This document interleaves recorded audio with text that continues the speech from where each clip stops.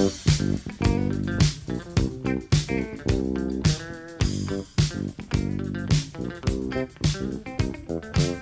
love cookies. I love cookies. I love cookies. I love cookies. Welcome to Cookies, the world's most influential basketball podcast. Everybody's saying it. Andrew Kuo, what is going on? It's Monday morning, it's muggy, it's New York City and the end of July. Are you already in vacation mode? I've been in vacation mode, man. I haven't I haven't worn real pants in a long time. Basketball shorts, borderline real, right? Uh, a lot of a lot of boxers in the house, a lot of not going out. Yo, it's I know weather talk is not the talk, but that's all I think about is the weather. You and my mom, really, a lot of weather chat coming my direction from you, from you pair. Can we do an updated 2024 forbidden conversations? We got weather, how much money you make, um, how much you weigh, um, Michael Jordan as a goat. Um, What else do we have? Uh, Jalen Brunson as New York City mayor. Tatum All NBA. Can we still talk about that? That's a conversation I love to have. Mm. This is the foundations of the perfect pod. What are you doing? That's that's all we're talking about. That's right.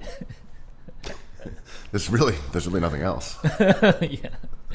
Halliburton season. One one one illicit activity. It's not necessarily a conversation, Andrew. Have you seen this going around? They're saying that straight men don't read novels. Well, I don't have to display my straightness any more than the chrome danglers, the chrome soup dumpling danglers on my Cybertruck. But what is what does gendering illiteracy mean? As someone who strongly believes that all reading is sus, Except for the joy of basketball, which is required. so I, I guess this idea that straight men don't read novels is that men love facts. Straight men, they don't care about your whimsy or your I have a uh, friend your, like your your fictional characters that you're inventing and telling stories about. They just want to learn about World War II. How could he be Doctor Doom if he was already Iron Man? I don't understand. I hear this. I have a friend who, like, sadly, uh, with much shame, reads like three books a week. Oh. And yeah, and they're all nonfiction. And well, it's a part of their job, whatever. But um, we've had conversations about this for decades, just being like, he's just like, I don't like scripted movies. I don't like novels. I don't like made up stories. I don't really have time for that because there's so much good nonfiction to throw into my eyeballs. I kind of hear what he's saying, but to genderize it is confusing to me. I think what he's saying is in his interests rely lies in like truth and bias and untruths, right?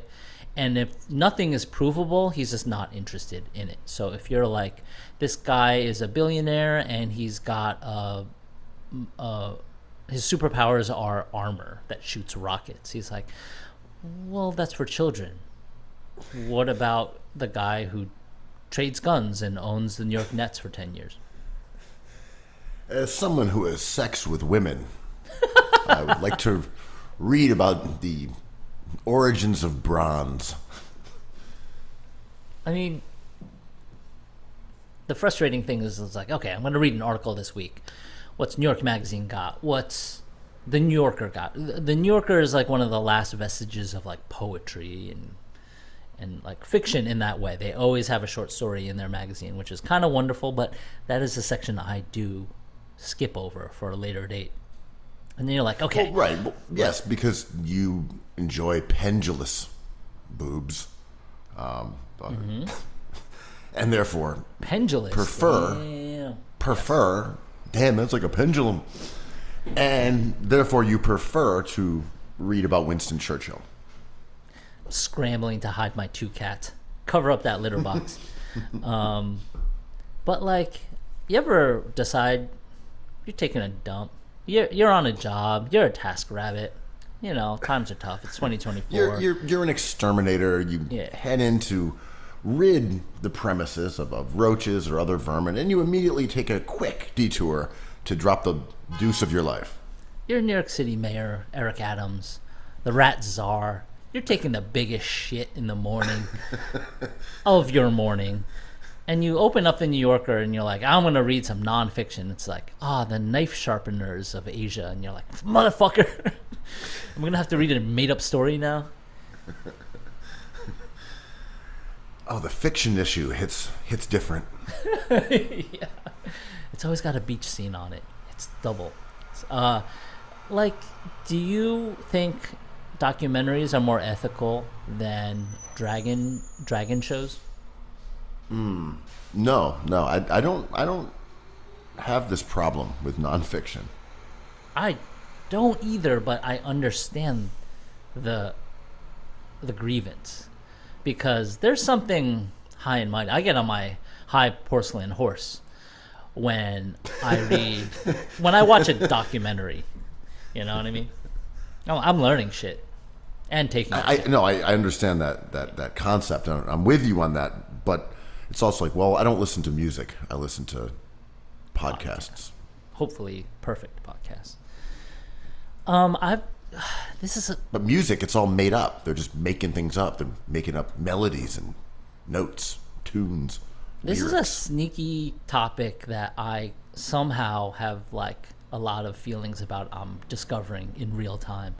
I've been trying to listen to more music for like you know how some people like read for 20 minutes. Weird people like read for 20 minutes. Or someone's like meditate for an hour. Uh, don um, mark Wahlberg, right? It's like i meditate from 5 a.m to 8 a.m in the darkness snoring. Um, but I try to listen to music because too much of my brain is full of like BPM, Kamala Harris polling, health stuff, seed oils. After a while, I want to. well, you're, you're, you're a straight man. It's, it's full of facts, figures. Yeah, and then this is where I let my freak flag fly, my LGBTQI plus flag fly. I listen to some Kendrick Lamar, never, some mm, Drake sometimes, but I I peruse, like I, I browse playlists and think about things I haven't heard in a while, and I've reconnected with like a couple friends who are doing the same thing, and um, it's awesome. It's like a different part of my brain. I feel happy when I listen to like sad music. It's cool. So you just introduced yourself to Xavier So Based, and That's right. you're living your best life. Yeah. Well, like, well, some prosecutors would claim rap music is doc- a documentary, and they can be found liable for the things that they brag about. But It is the CNN of the ghetto, as they say. But like, I for my day job, whatever, what I do mostly is like I try to live in the world of make believe and not like superheroes, not like the boys or that show or anything, but I try to think about stuff that isn't tethered to like news or facts or whatever. Um, and if I lose any kind of foothold there, which I always do, it like it, it makes it harder. So I always try to stay goofy. For me, nonfiction is a way to get excited about writing. Uh, I'm sorry, I, I mean fiction. Sorry, nonfiction. It's like yes, you are absorbing information and it's making you ostensibly smarter. Just go read a book, any book. Uh, I got this Adolf Hitler guy. Uh, he, he he put out a, a manuscript. Should I take a read? Mein Kampf, does that translate to my couch? Is this a love story? But but I, I like fiction because it's more stylized, and I think Mm-hmm. point. nonfiction is a little more nuts and bolts. And I'm not saying there aren't differences between writers of nonfiction. Of course there are. Which nuts? Of course, truck nuts. These nuts. But there there there are there are obviously differences. But fiction is just wholly stylized in so many different ways. So I, I like it from a writing standpoint, just to get excited about being creative and writing with more of a flourish. Even though the joy of basketball obviously is nonfiction, there are fictional elements. That's flower. It's a flowery as hell book, man. That's There's what I mean. It's like it's everywhere. It, it's I would say it's it's written more the spirit of fiction because you know it's based on a true story. right. Basketball. I mean, there's the play-by-play announcer, and then there's the person who adds the color. That's what we do over here, Ben. But uh, you make a good point, right? Like, I think one of the secrets of making creative things is to find what you like first, but then steal what you like. And, uh, you know, there's Fred again, a very popular DJ now. He tells this story over and over about um, being under the wing of Brian Eno, and Eno just giving him like a, a million, a few hundred files of like doodles that he's created throughout the years, and he's like, take any one of these doodles and make a song out of it. Just take what I made for you, gave you, and just make it your own because everything starts from somewhere else. And to create something from nothing is possible, but is also very difficult and may not give you what you want. Just like steal a little bit here and there. This is the Jasper Johns thing, right? Yeah, I, think that's true. I mean, even when someone writes in a style that's completely different from my own, you know, we're talking like like I don't know, Cormac McCarthy or something. It's like completely different. You can still appreciate what he's doing and think of the way that sentences could work together or word choices and things like that. Mm-hmm. It's like you can absolutely borrow from someone that is wholly different in every way in, in every genre and whatever. I mean, even in like basketball terms, like you could look at two players who are totally different, like Shaq and Steph Curry. And you could like you could figure out something from the other one, the way they moved, even if no one would compare the two. Hmm. Right, and that's why there's slight disappointments from my Lakers hater ass. Like Kobe just reminds me of Jordan, so I'm just like, oh, I know the provenance of this thing. Wonderful player, to be honest, you know. But like the provenance is there, and I understand it. But right to your point, it's like when I saw Shaq, I'm like, ooh, the Jordan connection is the one, the conversation I want to have because they have, they certainly have similarities. Yeah, and I think the more obvious ones are like, okay, Kobe's going to go work with Akeem, and now, you know, LeBron's going to work with Akeem, hmm. and now so and so is going to work with Akeem, and Dwight Howard, and this, but that sort of legacial element of the Dream Shake, and Cooper Flagg's how oh. gonna work with Keith Van Horn. Like, duh. no shit. the the the, the KVH Shake is now That's right. taking over the whole league.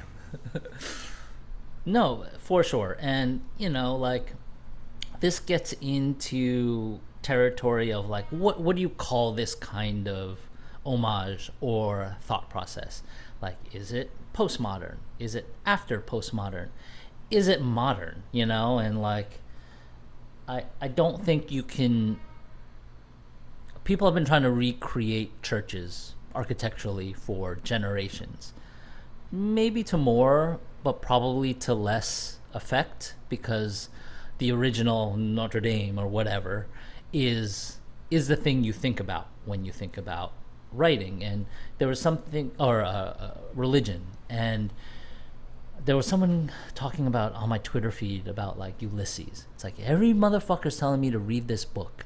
It sucks. It is impo- I'm 400 pages in and I do not what's know what's going on. And I'm like, right. I remember my father being like, you just have to read the Bible. It, we're not religious. We're not a religious family. I'm not pushing you there, but like a lot of the secrets, the secret sauce is in this book with other stories. So you're gonna read your comic books. I was a young dude. You're gonna read your comic books and be like, that was crazy story of betrayal. And he's like, it's from the Bible. So eventually in your life, read it. Never did. Never will. How about So, that, like- Dad? I'm like, hey, what do you think about the burning bush? And you're like, whatever, man. We talking about a roots band? What are we doing? Um, That ethical king, Dave Matthews. yeah, that movie Passion of the Christ by Mel Gibson. Um, No, I, and I wish I did. Like my dad used to read uh, Moby. Well, every summer he used to say, every year I try to have a number one American book on the rankings, and he would read everything over and over. So he would read Moby Dick, Sound and Fury, uh, and alternate between those two books my whole life. So like, this summer I think I think Moby Dick takes it. It's the better novel. Melville is the better writer. And then he'd be like, scratch that. Faulkner touched on something really specific. As I get older, I'm appreciating that more. That's the number one book. I read both of them. I get more choked up thinking about Jeremy Lin than those damn books. So you're saying like Dick Boy is not up. I mean, I'm a man. Faulkner, Faulk, I'm a Faulkner man. Boys down bad. Well, ah, God, those I've read both those books. The Faulkner one I have trouble with because it's so stylized that I Yeah. kind of get lost in like letters and words. I start just like looking at word forms and I'm like, I can't do this. My brain can't go there. And Moby Bit Dick is so full of nothing that I'm like, that am I dead? Am I am I walking this Elysian fields dead, reading this book where nothing happens? Am I the white whale? I mean, that, that is the question. Queequeg in the Um, X Files.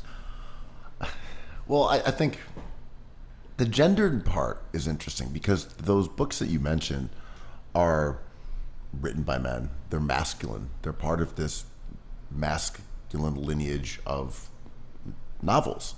And this idea that straight men read nonfiction is kind of just based on like boomer dads. But weren't and people Boomer Dad's adopting- Hemingway fans? Like, didn't they love But- that shit? Right, but it's almost like they've ad- adopted this thing of no, I'm just going to read about lawnmowers. That's a man's book right there. A book about lawnmowers? For sure. I'm with them. I'm so- I'm sorry to the- bust it. Yeah, I'm with them. The history of the grill. How to kill rats. I'm like, whew, that's a manly uh, shit. I'm a rat But it, it, but yeah, right, reading Hemingway and oh, bullfights, sangria. Yeah, yeah, this is some man shit. Like, oh no, no, no, no, no. Have tried a book about charcoal grills? I mean, we lived in an era where that masculinity is kind of like hazy, right? Because like bullfighting and like late night drinking of whiskey, I'm just like, whoa, whoa, whoa, easy there. You know, like that is not entirely like the straightest thing, thankfully, because they're wonderful, enjoyable things. But like, you know, we grew up with the Bear show and bears in general, right? Like they're Hemingway fans. I So you're saying that like sangria and bullfighting is a little too flamboyant for your manly taste. Well, don't boomers make European traditions and Southern American traditions all kind of gay compared to like AR-15s? right? Like that's the the stupidity of JD Vance. That we're is- gonna drink wine all night, and we're gonna watch bullfights. Like, okay, Gaylord. I mean, ever go into an Applebee's and order a red wine? Sangria, that's the drink with the fruits in it. yeah. I ordered a vodka that so- brandy? You having brand brandies with little bits of apple and oranges? I went, yeah, I went into a dive bar this summer. Ordered a, a vodka soda, and the bartender was like, "Okay, okay, novel boy." I'm like, dude, okay, I accept it. That's awesome. Whatever. I like my drinks refreshing, and to pack a punch and not have a, a carb overload every time. Sheesh. Bullfighting, the thing with the, the the red cape. I mean, it's kind of a dance, isn't it? Like, there's paintings of bullfighters. There's songs, beautiful songs about bullfighters. Like, Those pants look pretty billowy there, uh, senor. there are Americans who think soccer is kind of sus. I'm like, what the f- longest tradition organized sports ever? Soccer? Uh, footy, I mean. Hey, You listen. ever read about D-Day? they got to get behind a, a candidate who fucks couches. So it's really confusing on that side. Great transition. Let's talk about your man, He is kind of my JD man. Vance. I He's kind of your man. Look, he writes nonfiction. That's he's right. He's stra- Well, straight as an arrow. That guy. it's kind of he claims a lot of it is fictionalized like he didn't actually fuck the couch but I, he is my man in the way that like i was burnt out on politics man i hate this like toxic masculinity we have with trump and biden finally jd vance shows up a softer side of politics he's talking about loving inanimate objects something I love ideas. I fall in love with thoughts. He falls in love with sectionals. He said that well, Andrew. so I, I think JD Dan, JD JD Dance, uh, but JD Vance. There's a, a part of me that has sympathy for this wholly unsympathetic character, only in that his origin mythology is interesting to me because you see these photos of him wearing a Mao t-shirt or you hear about how he you know talks with alt-right people on their discord channel I'm like this guy's such a fucking nerd Yes. and somewhere he turned into this evil nerd. He was anti-Trump, and now he obviously is Trump's running mate. At some point, he was like this young conservative at Yale from a working class background, reading Andrew Sullivan and the the, the conservative blogosphere. He's this odd creation where people said that bad reviews of Hillbilly Elegy are what spurred him into politics. Like there's this oddity about him. He, he has an Indian wife, and he was talking about her the other day. And she's like, she's not white, but it's crazy. Neo Nazis were like, but he's married to someone of color. And he's like, listen, listen, that may be true, but she's a really good mom. We're like, how is a writer this bad with words? Insane. he says so many dumb things. But there's I love it. I love it. But part of it, it's also really funny. The video Yeah. of him backstage. It's like there's a bunch of crap here, like, like Mountain Dew, Mountain some Dew. Snickers bars. Like Yeah. I don't know, maybe you guys could donate some money or something. I'll blimp out if for- I eat this stuff. Yeah, it's like I'm just gonna totally get fat as shit. Um, I drink this Mountain Dew that you're gonna call me racist for doing. Like he's such a putz. I would like to stand for JD Vance. Not only has he given me more energy and enthusiasm for politics than I've had before, I respect him because he's pushing. He's he's trying to run from those extra twenty pounds like his life depended on. This dude is not in the body that he was meant to be in, and. I'm a Death Cab for Cutie fan. I like Postal Service. I know this body type. He is Ben Gibbard to a T all he does is talk about like diet sodas and like his frustrations with looking at like Halloween sized Snicker bar. He's like, there must be eleven here. I'm like, they're baby size, bro. You can eat four of those. But um, yeah, I I I respect his fallibility. It's refreshing, and I'm glad he's not on the Knicks.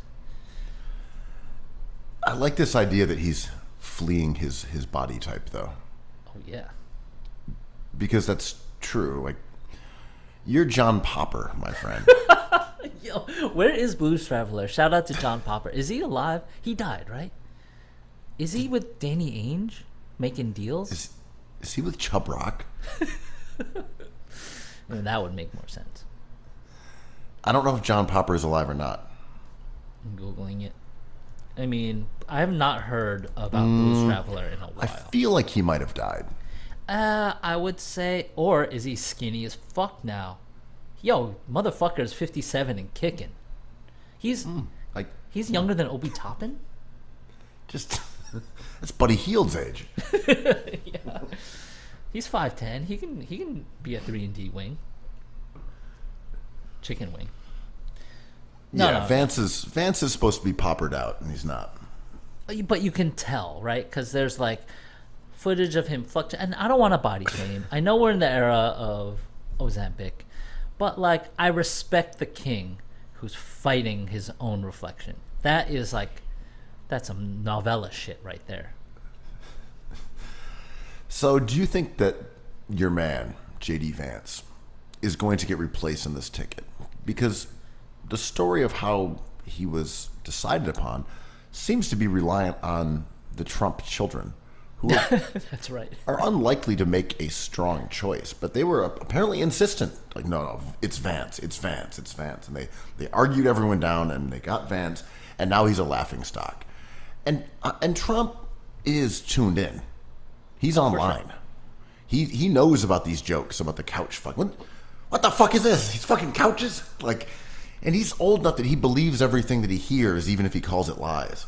Or the Trump kids were like, he's the perfect candidate for you. He's racist. He hates women. He hates cats. He only reads nonfiction, but he fucks couches. And Trump's like, who doesn't? And they're like, okay, we're good. They have a golden toilet like JJ Redick. Um, how can Trump do this though? Because the the GOP is kind of in a corner because all their talking points were kind of snatched from them by Kamala Harris, and one of their gripes, one of their talking points is this is not a democratic process. Kamala Harris wasn't properly primaried in. Uh, her supporters, Democratic supporters, didn't necessarily vote for her. Um, the process was not um, trusted. How could he switch it up and still have that talking point? Is that talking point so dead that they're willing to do it? Yeah, I mean, I agree with that talking point.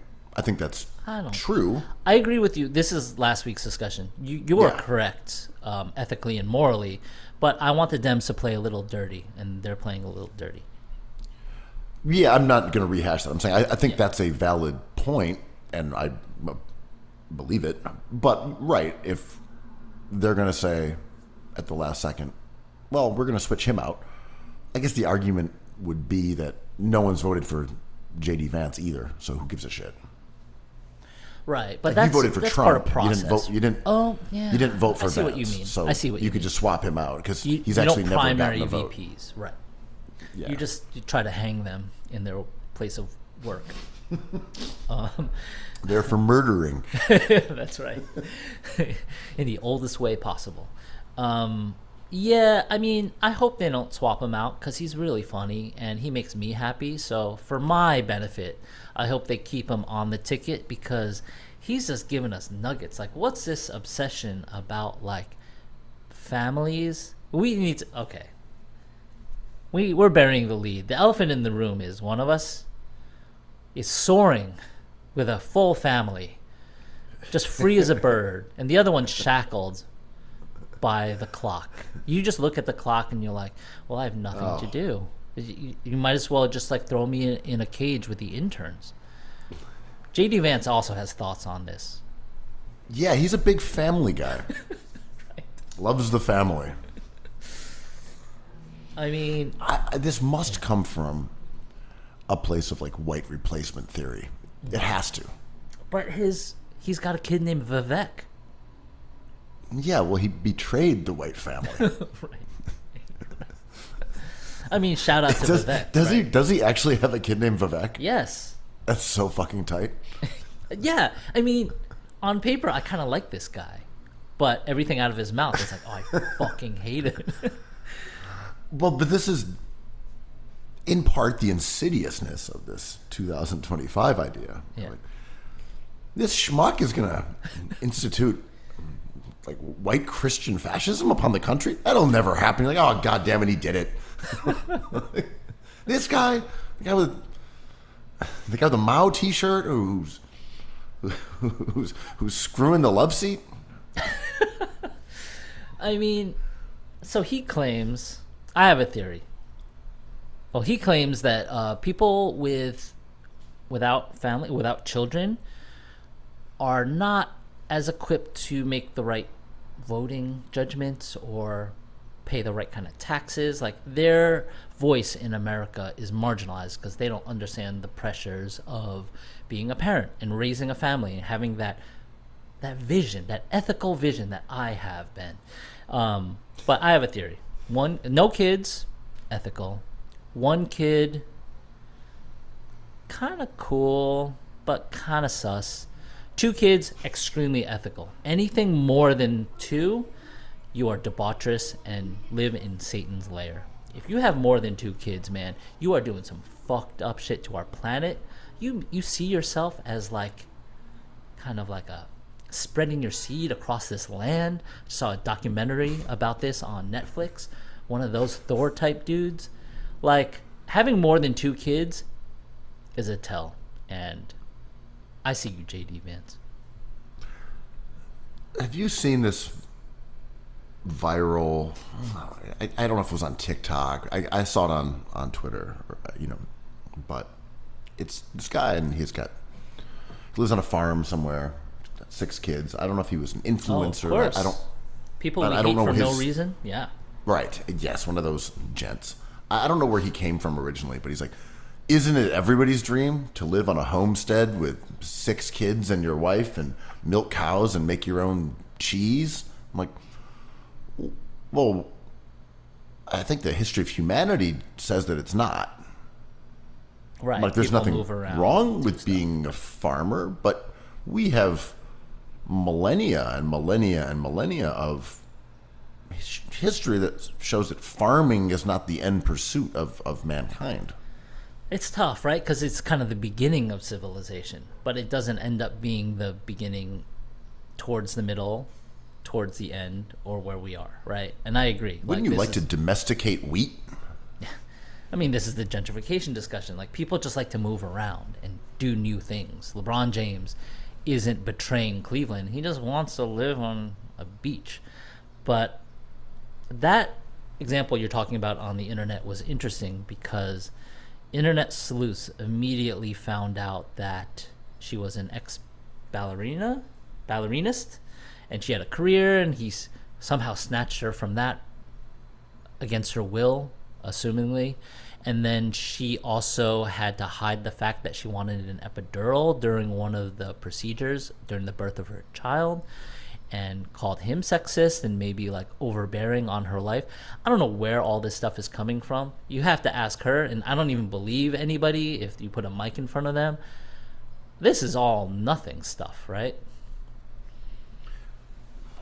Oh, I, I don't even know this whole backstory. Uh, The, the, the tea that you're spilling.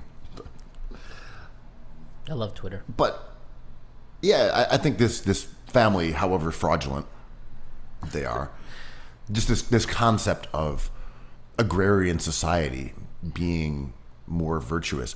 I don't have a problem with people who decide that that's for them. But humanity is all about cities. But shh. It's about like culture. as- it's, as it's- someone- there's nothing. There's nothing wrong with saying my vision is milking cows. Cool. You want to live like a serf. You're saying the quiet part a little too loud, man. Because me and you love looking up Caitlin Clark stats, looking up Jayson Tatum fraudulent accumulation numbers. That's like a good life for me personally. I don't want to work on a farm, but I do want to eat those vegetables and eat that bread.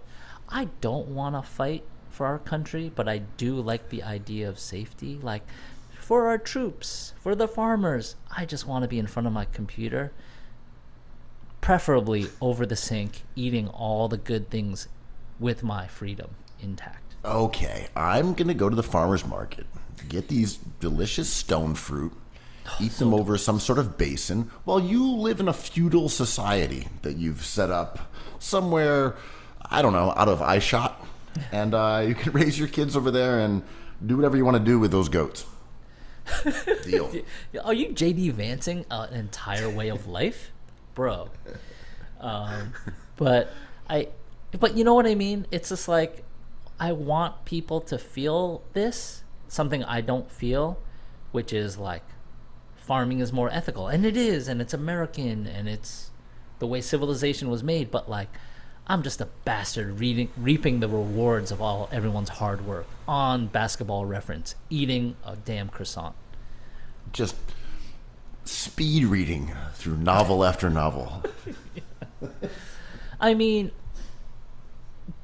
we don't want to talk about basketball yet, but is the eye test less masculine than stats? Ooh, that's a good one. We'll get to that Because later. Yeah. because yeah we uh, we fictionalize a lot, right? Culture, Michael Jordan Yeah, can, originalism. yeah. Can, can, no, no, this is a great idea. Can we reposition stats as like the nonfiction? Yes, the real man's take is that he, uh, that his value of a replacement player is uh, through the roof this year, and you're over there talking about his will to win like a girl. You're talking about America and representing our country as the reigning champion. I'm talking about the irrelevance of a volume shooter. I'm talking about usage rate. We're talking 100 possessions. You over there with your whimsical 36 minutes. What is that? What does that even mean? What? Speaking of fiction. whimsy and fiction, did you watch the opening ceremonies? Was there pomp? There was a lot of pomp, bro. There was there was some scandal. There was some. Okay, I have to be honest. I love opening ceremonies and closing ceremonies of. I love the Olympics. Period.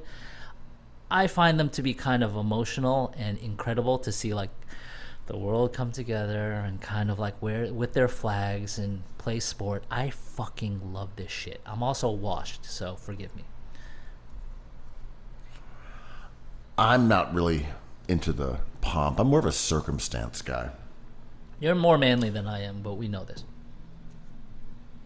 I mean, I have cats. to me, it, it feels as if they're making stuff up during these opening ceremonies. These national anthems. What is this music?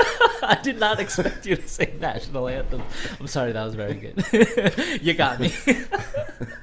the fuck is this song? this, this invented country with an invented song that goes along with it? What do you have a language notes. that you invented, or you came up with a uh, with a tongue? I was like, I expected you to like talk about like crimes of humanity and fictionalized borders, but you're talking about jams. Gay ass mother tongue that you're singing in. Ah, that's my favorite part.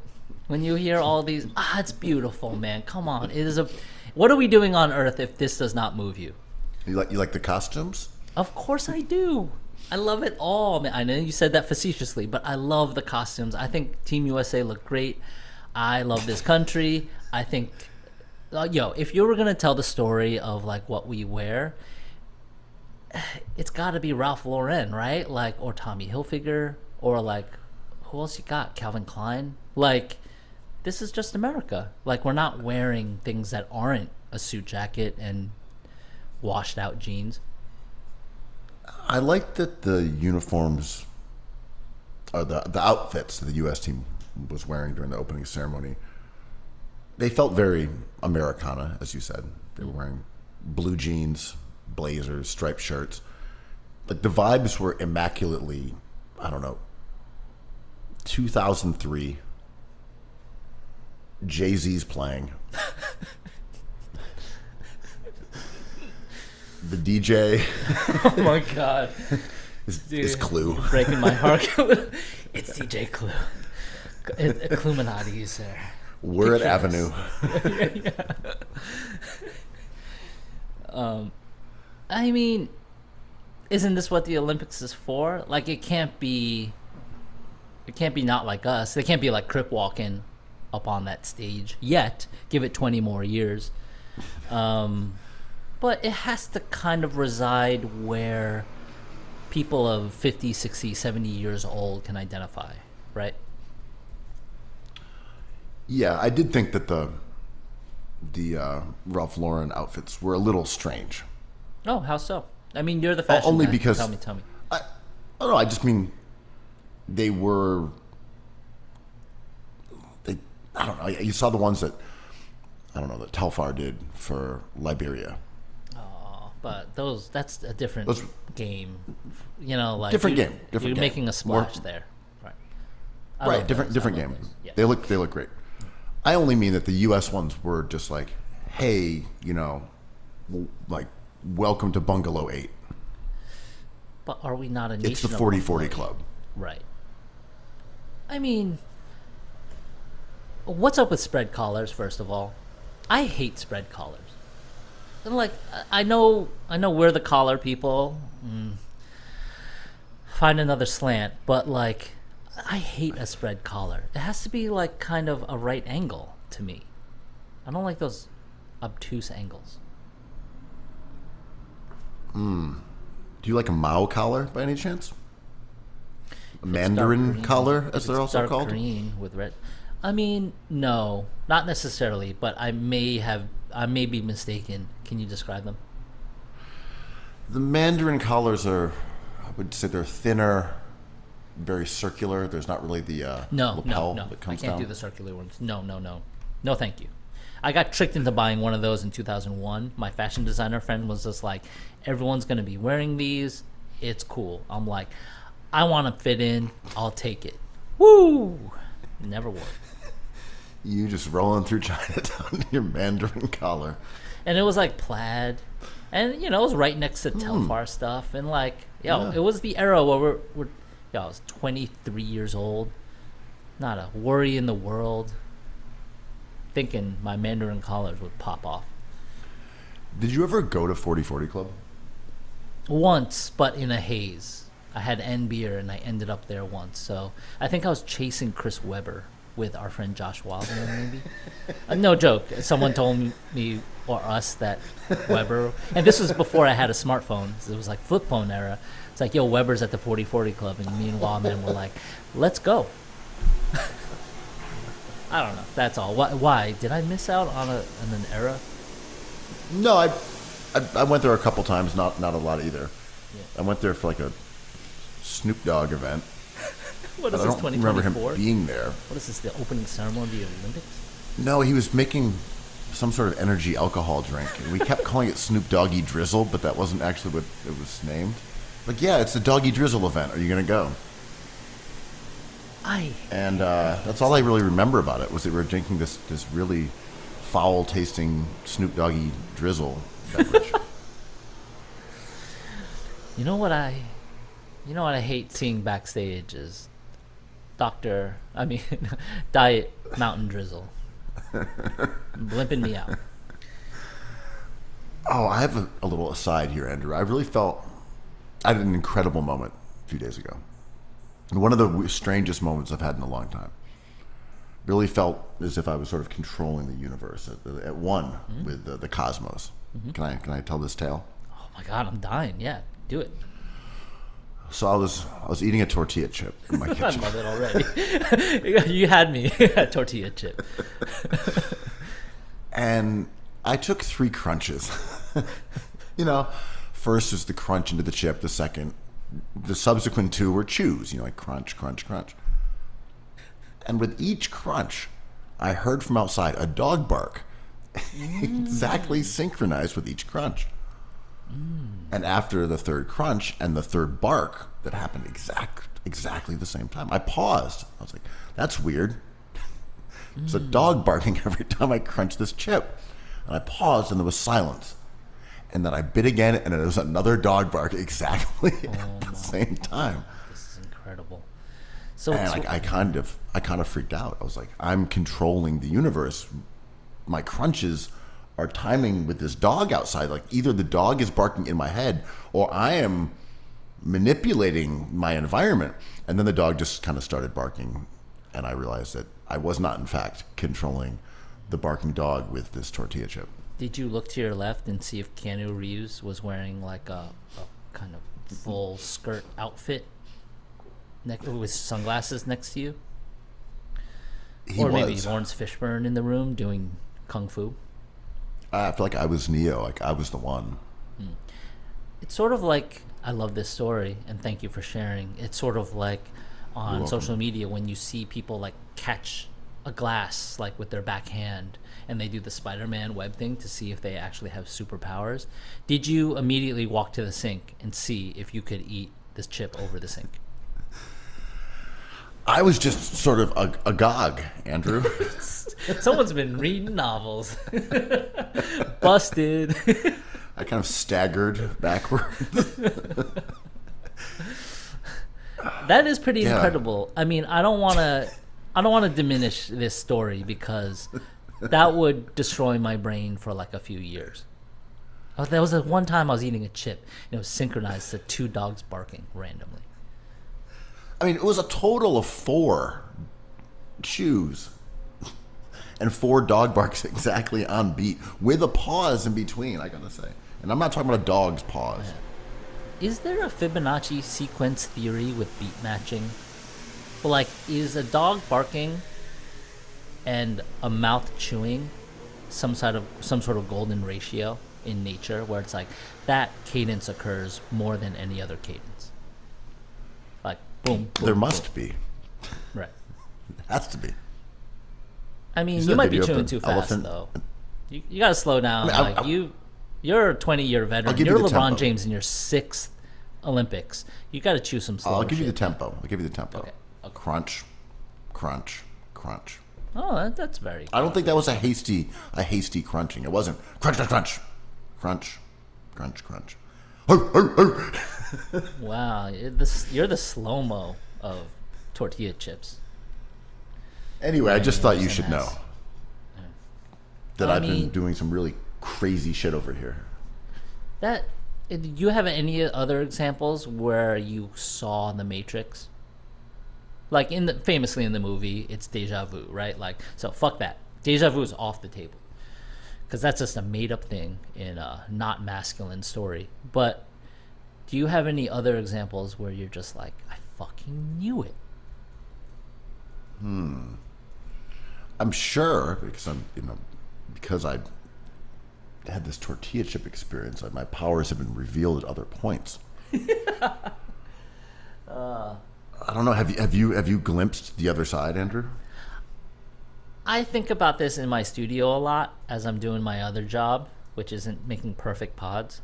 And when I mm-hmm. paint abstract paintings, I have a, this idea that if I don't have a plan going into it and I just do whatever the painting tells me to do, I'm going to end up with kind of the same painting every time. So that's kind of what I try to do in my studio. I'm just like, am I Neo or am I Sam Jackson or am I one of those dudes with white dreads? This is what I want to find out with this artistic pursuit. That makes sense to me. Or am I one of those like robotic octopi? I don't know. Hmm. I think you're the a white dread with a mandarin collar. If we do 500 more perfect pods, are we going to talk about eating over the sink again one more time? Well, maybe we've discussed this before. The idea that all birds uh, eventually become vultures. Oh yeah, this is my favorite shit. That they're the uh, they're at the end. Vultures are at the end of their evolutionary journey. So if there's a million more pods, by the end it's just us saying "eat over the sink" over and over for and two over. hours. Yes, that would be the vulture uh, theory. Like the hyper optimized version of our pod is just eat over the sink in repetition with a dog barking outside. I don't know. It could be ethical basketball, ethical basketball, ethical basketball, or it could be rats, rats, rats, rats. I, I don't know, but those are all wonderful outcomes. Yeah, I, I eagerly await the evolution. We'll find out in a month or two. Find out next week on Cookies Hoops. uh, 2025 season. We'll find out. Um, so I know there was some discussion of an issue that's really close to your heart this week. Um, Kamala Harris released a statement condemning flag burning, and I know you're someone who loves burning a flag. That's kind of since I've met you. You've always engulfed flags in flames whenever given the opportunity. Yeah, I do. Any flag I see, I kind of like to burn it. What, what's what's the deal with people still getting upset about flag burning? Why why why would anybody care about that? I got into this stuff when I did a reimagined flag for the New York Times style uh, opinion section uh, during COVID, and it opened a window into MAGA social media that I was halfway not expecting, where they found me, and they were like, "You're not a real American. How could you desecrate our our symbols like this?" And I did not respond, but I kind of like commiserated with their point of view. Symbols mean a lot, right? Like if you walked up to me and spiked a ripe peach and spin on a Jeremy Lin jersey, you'd hurt my feelings. I get why symbols matter. So I don't want to be flippant and be like, the flag is a fictional thing. Uh, the Last Supper is a fictional story. How dare you desecrate it by um, envisioning it different than I did? On one hand, I'm interested in people who do that. On another hand, I understand people who are upset by it. So I think what Kamala Harris is doing is trying to get votes because she knows that this matters. But I find myself, when I think about it, understanding people who are like, please don't burn that LeBron jersey. I, I mean, to me, it's that she said, uh, you know, she criticized that, and saw John Kirby, your guy, came out and said, you know, that's just unacceptable. What? Flag burning is unacceptable. I think it's I'm not- acceptable. right. It's, but I mean, it's it's it's literally acceptable. Nonviolent protest is acceptable. It's it's an object. It's a symbol of the country, and I, I right. I mean, people do it because it makes other people upset. It's a, it's a trolling mechanism. Yep. it's it's solely symbology, and if no one cared, then people wouldn't do it. There was an old like Abbie Hoffman era thing. that Like if someone's burning a flag, that's the op. like that's someone who's infiltrated your organization. Because like uh, most people aren't really invested in burning a flag. It's kind of like yeah, that that person is police. I like that theory because most normal people don't rush to burn Stephon Marbury jerseys, you know, or Trae Young jerseys. But uh, yeah, I mean, is is the sanctity of objects kind of restricted to symbols? Like like I could burn something blue and orange, but as soon as it has a Knicks jersey on it, it it's different. Right, I mean, right. a Knicks logo, right? Totally, totally. Yeah, and I think there's also a element of this that's coupled with this American hyper freak out over property damage. These things all kind of go together. That's right. Like, It's like they did what to a Citgo? Yeah. They broke a window at a at a, at a gas station. Oh, lock them up. Put like- them away. And it bears mentioning that like people who are very upset by this are, I think, also a bit performative because there's Blue Lives Matter flags. There's Trump photoshopped over a flag.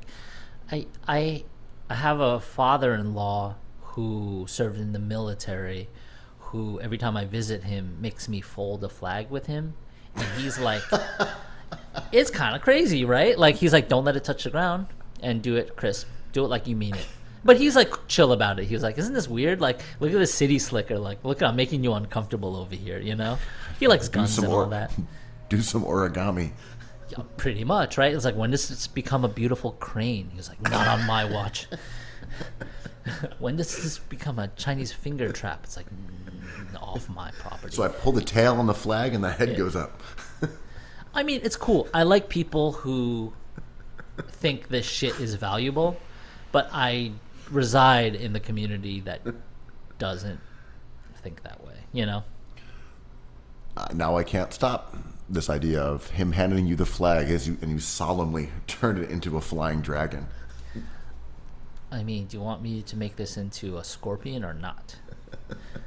um, but like, yeah, it makes me think of like the prisoner of war flag. That thing is like one of the coolest images of a flag, that black and white one with the silhouette of the soldier. But there are no prisoners of war. But you kind of see that flag below the American flag a lot, and a lot oh, of people all the are like- time, all the time. all the time, right? And people are like, there is not really a prisoner of war issue in America. Like they're kind of all accounted for. There's maybe one or two, but it's like it's not an issue. But that flag kind of goes with the American flag. Oh, I, I mean, I know that flag well. Yeah. And um, I don't know, eh, yo, flags are meant to be changed, right? Like, didn't they change all the state flags recently, or the city flags? There was there was talk, and certain places have changed, but a lot of them looked very Reddit. That's right. Yeah, yeah. They were they were super generic. I don't know if it was a few places did contests and said, "Hey, redesign the flag." Honestly, most of them were, were cheeks. I got to be honest. Mo cheeks. Um, yeah, it Could looked you like could you turn the POW MIA flag into maybe some kind of lotus flower? I was like, "What are you? Be careful with your words, man, because you're gonna get people upset out here." But um, every time there's a logo change, like this is the new IBM logo, everyone's like, "This is blasphemy." I'm like, "What the fuck? It's just a logo."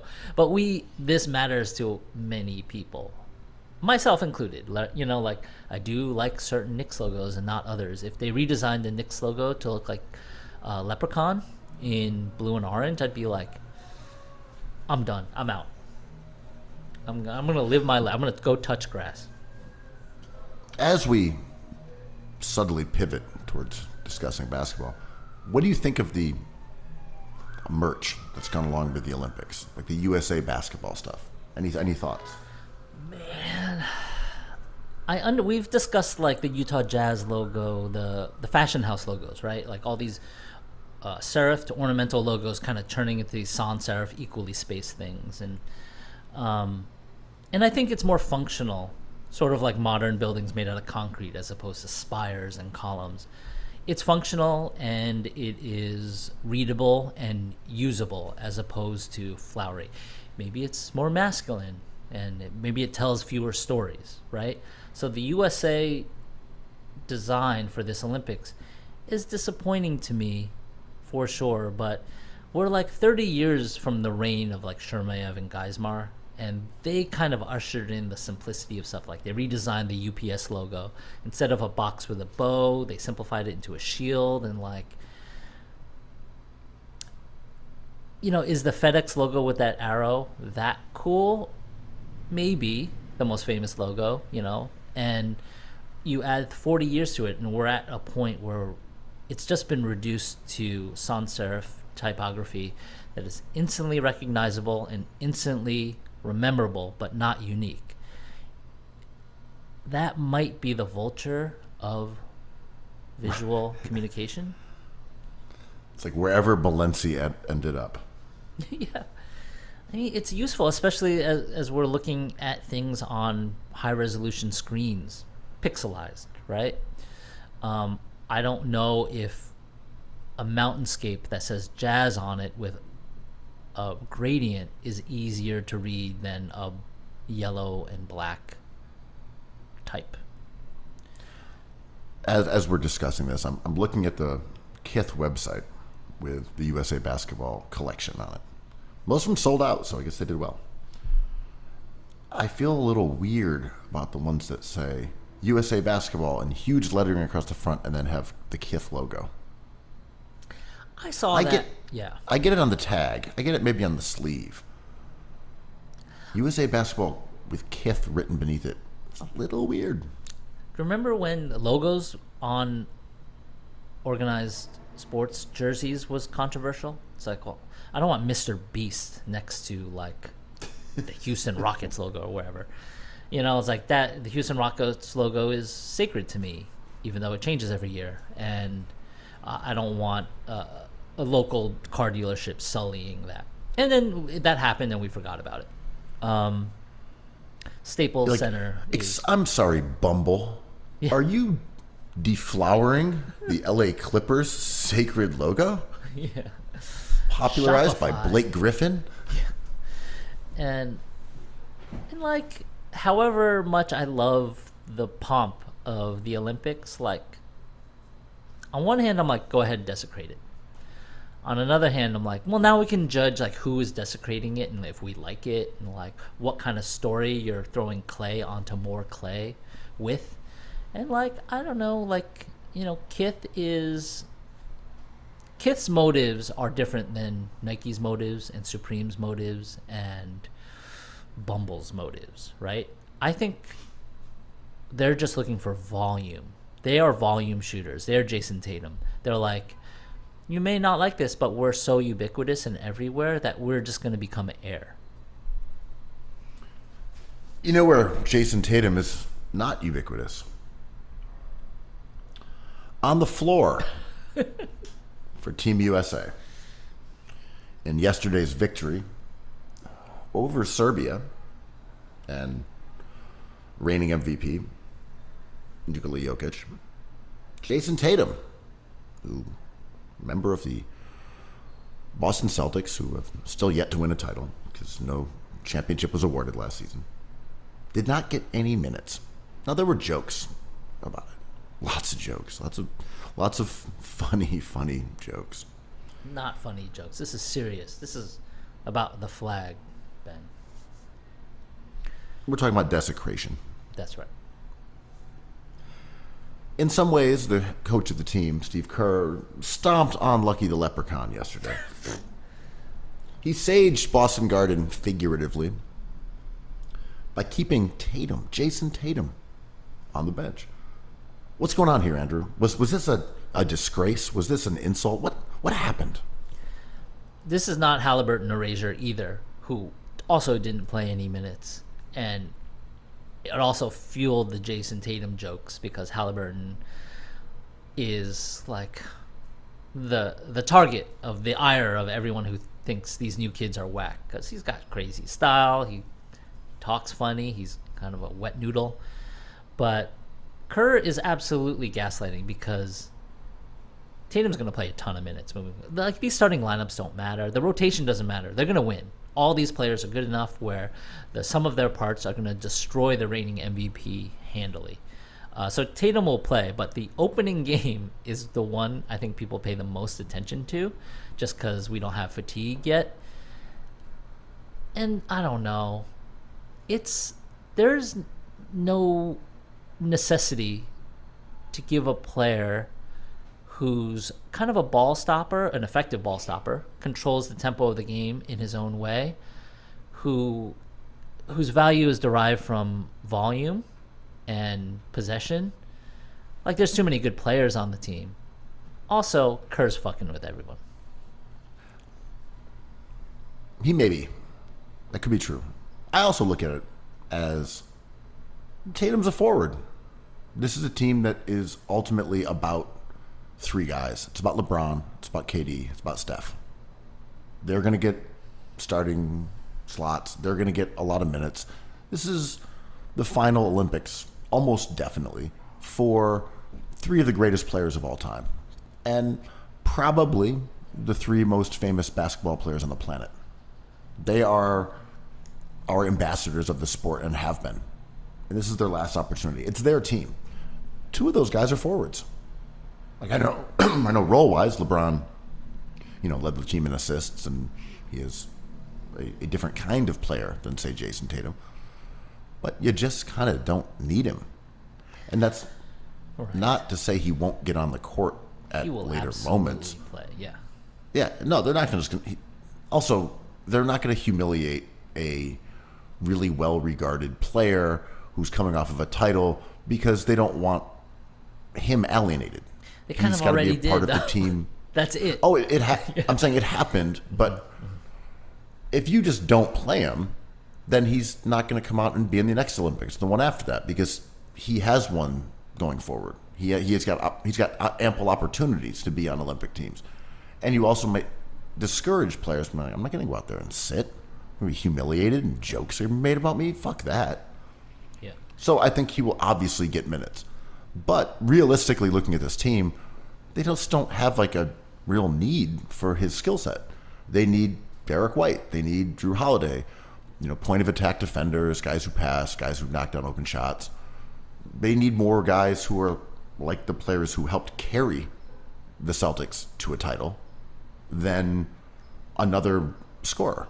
Because you already have KD, you have Anthony Edwards, you have LeBron, you have guys, you have Booker, players who are just as good in that role and might fit better around KD and LeBron.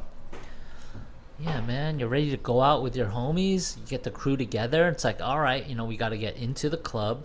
We got to get the table. We got to get the bottles. And everyone's good at it's like, oh, I know someone at the door, or, you know, I got some money. I'll get the bottles. and someone else is like, I'm already here. I can secure the table. And then the one guy's like, I'm really good at drinking. It's like, yeah, yeah, you're fun. We love you. It's like, what can you do? It's like, I'm really good at drinking. It's like, oh, we, we're all really good at drinking. But what else can you do to help the situation? Like, I can come along. It's like, okay, you can definitely come with us, but like, we don't need you right now. At the end of the night, when this is all secured and we're having a good time watching Travis Scott for the 15th time, you can you can be the one. You know, you can have your your turn in the spotlight, but like we don't need you to do anything. And like Tatum's in that kind of situation where it's like guys I can knock down a shot. It's like, yeah, yeah, all these guys can. Can you play defense? Can you facilitate the offense? Like maybe, but I'm not really known for that. What I'm known for is knocking down those shots at a league average rate. It's like we're gonna give those shots to LeBron. Can you do anything else? It's like, well, I can wait for my shot. It's like, all right, we'll have you play against another opponent. But the first game, like, we want to make this the LeBron, KD, Steph moment. It's like, okay, we've got our boy band. got our we got our lover boy over here. Tony Fatone. What's his name? Tony Fatone. We, we got the we got the sensitive guy. Uh, we got the we got the preppy guy. we got the weirdo. and we and we got the bad boy. Yeah. Like, all right, cool. Can I join? I'm a bad boy. we got we, a bad we, boy. have- we got a bad boy. Okay, okay, okay. What if I'm the sensitive guy? Mm, I think we're pretty much covered in the sensitive guy area. Huh. All right. Well, uh, I don't know. Um, what about a what about a preppy guy? No, no, we're we're good. We're good on that. I mean, watching Jaylen Brown's frustration on social media is like kind of sad for me because I feel for him.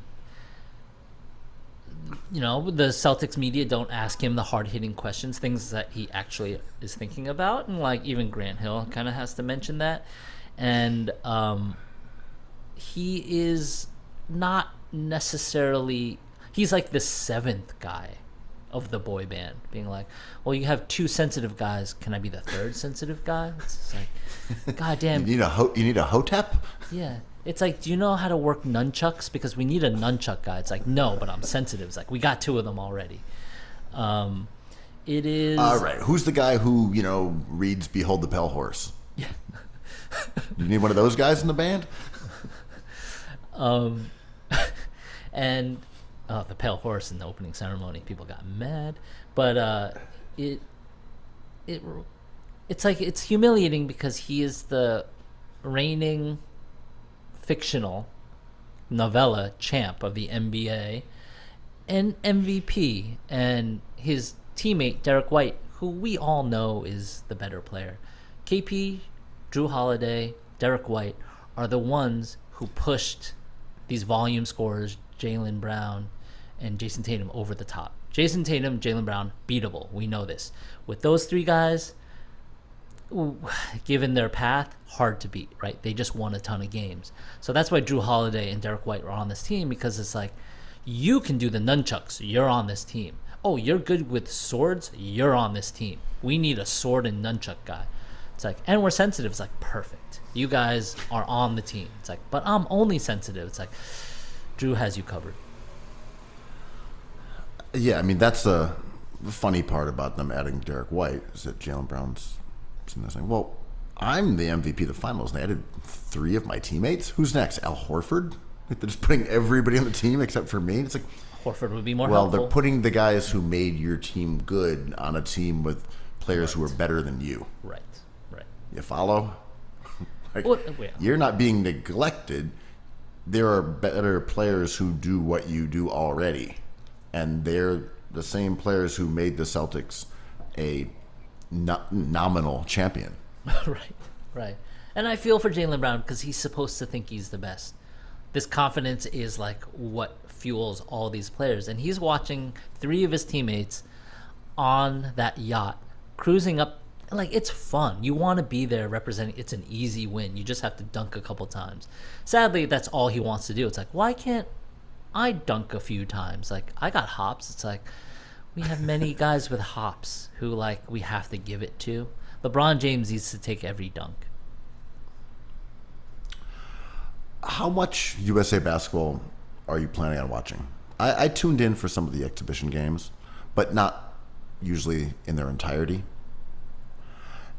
The problem is that for some reason, it's hard to find good box scores. It's hard to find updated What's up with stats. I- It's bizarre. It's like, oh, you just don't have box score technology over there. Like, oh, I don't know. This is happening in France. How I don't know how we get it stateside, and like, how is this still a problem?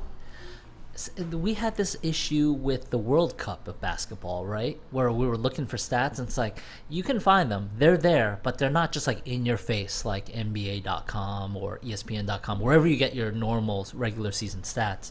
They're just not there. I, I even have trouble finding WNBA stats sometimes. I go to their own app. That app is terrible and crashes all Awful. the time. It's, Awful. Awful. It's buggy as hell. Like it is not good. It doesn't make the experience of like sifting through numbers enjoyable. But the WNBA app stinks. It I stinks. I bought it, you know, paid for the whole season. It automatically logged me out for no reason, right. and then it won't let me reset my password and won't send me an email or anything. It just it's just useless. Oh God, I, I can't get back into it. I don't even know who to call. It's just it's just bricked.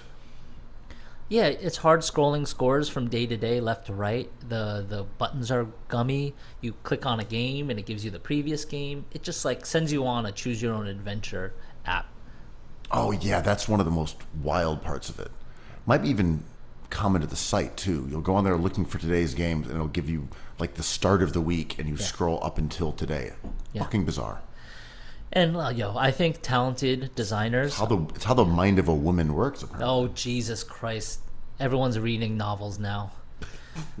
Cat, um, but uh, there's only a few talented designers in the world, and when I mean a few, I'm like a few thousand probably who are good at this, and like they're all locked up by the big companies like Microsoft, Apple, Google, mm, maybe Amazon.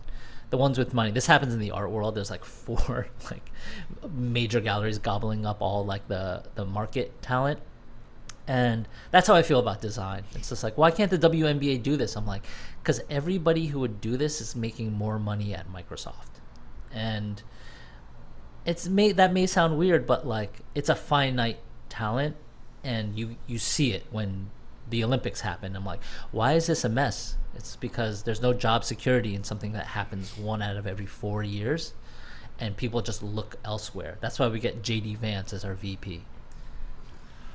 I was looking at the box score for yesterday's game. I'm like, oh, you don't have on-off numbers on this, huh? Hmm. Just couldn't Yeah. couldn't couldn't get that together. Couldn't couldn't muster up people's plus minus. Great work. quick, quick question. yeah, no- plus minus oh, an yes. advanced stat? No. No, right? God damn it! I, this is one of my pet peeves, Ben. When people are like, uh, "His plus minus was so and so," it's like, "Oh, you were in your nerdy advanced stats." I'm like, that is not an advanced stat. That is just like a quick reading of statistics in minutes. Yeah, it's literally what was the score while you were on the court. Yeah. I know. Anyway, Like that's not advanced at all. It's like, oh, how did your team do when you were on the floor? Not, Not really that advanced. Um, but yeah, are are you going to watch a lot of the USA basketball uh, games here? I'm gonna try. My days are pretty packed, but I'm gonna try. I want like the the alerts on my phone being like, "U.S. is gonna, the U.S. is down against South Sudan with two minutes ago." I'm like, oh, scrambling to find a maybe Rush. If if I went to Russian feeds, streaming sites, if I partook in that avenue of media consumption, I might log on very quickly. I, I'm going to watch some of it. I, I, I would have liked to watch uh, the game between uh, Puerto Rico and South Sudan. That was a nice win for South Sudan, and it's worth shouting out our guy Royal Ivey, who was on the winning team, the last lap squad in the very first Cookies Hoops Classic. Seemed like a very chill dude. I spoke with him briefly. An aptly Uh, named man.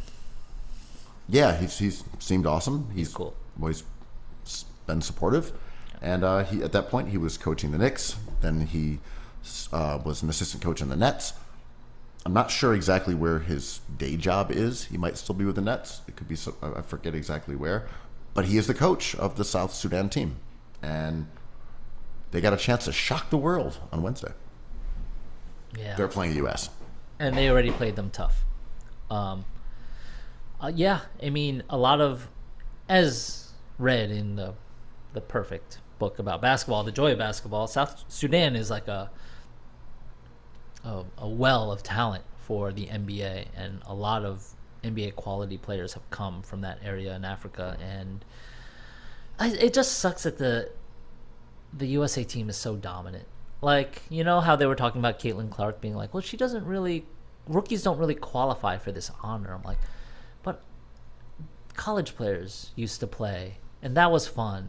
And like, my, I guess my question to you is like, is sportsmanship important in a simulation like the Olympics? Is it important for countries to be ethical? But where's ethical when the goal is maybe just to win? I, I thought the the ban on professional athletes didn't make a lot of sense.